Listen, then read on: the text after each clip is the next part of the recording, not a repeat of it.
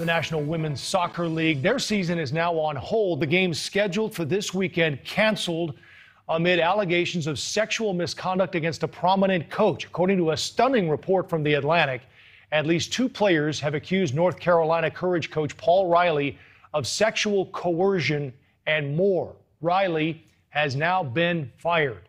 Dr. Robi Ludwig, psychotherapist and host of Talking Live, joins us now. Uh, I don't know where to start with this, Doctor, because it really was a stunning report. But I guess I'll begin with the fact that this had apparently been swirling behind the scenes mm. for years and involved multiple teams. How in the world does this happen? Well, there's so much embarrassment when it comes to being a victim of sexual abuse. And when you think about these athletes and the coaches and the relationship that they have between each other, they are basically taught to listen to their coach, to do what they are told, to think of themselves as a family, and what happens and whatever is said impacts the whole group. So you can see that there's something about about the system that also adds to the secrecy.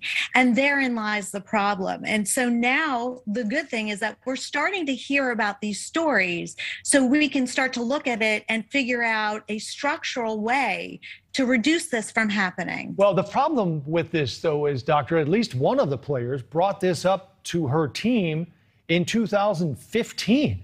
Now, mm-hmm. that team didn't renew the coach's contract, but apparently, I don't know whether nothing was said about it. There apparently was an investigation, but the coach was then hired by another team.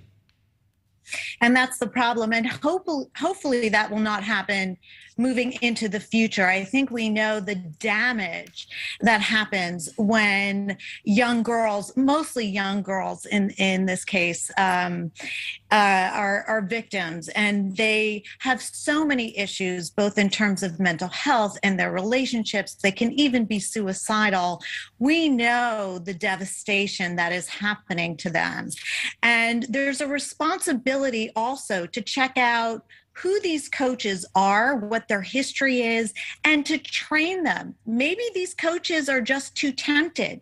Maybe they need to know in advance they might be tempted, they might be attracted to those they are working with, but to understand that they cannot act on those feelings. And if they do, there will be consequences. I guess just the, like teachers. Right. The other troubling part of this, and there are so many, doctor, is that if this is happening at this level with some of the I, I guess highest level, Olympic level soccer players, mm-hmm. is it happening at the youth and college levels? Well, it certainly can. And very often these coaches have a very high level. They're well received. They're very powerful. They are successful in terms of getting the wins that some of these mm-hmm. institutions mm-hmm. are looking for. And so now we really need to look at the whole person. If someone is damaging as a coach, if somebody is behaving inappropriately, abusing their power, that is not okay. And the more people that are talking about this and um, the more we hear about this, then we can address it. Yeah. Uh, and it needs to be addressed because it has been going on for a long time and we do need to put a stop to it. Yeah. Uh, I did reach out to uh, a couple of friends and a couple of former and even a current player as well. They were all, they said, angry, upset, exhausted, and not ready to speak out right now. Um, they will be at some point, and we will look forward to having them on the broadcast to explain exactly what they went through and what they are going through and what will change moving forward as the season is now on hold. Dr. Robi Ludwig, psychotherapist, host of Talking Live, thanks for your time and adding your insight tonight. We appreciate it.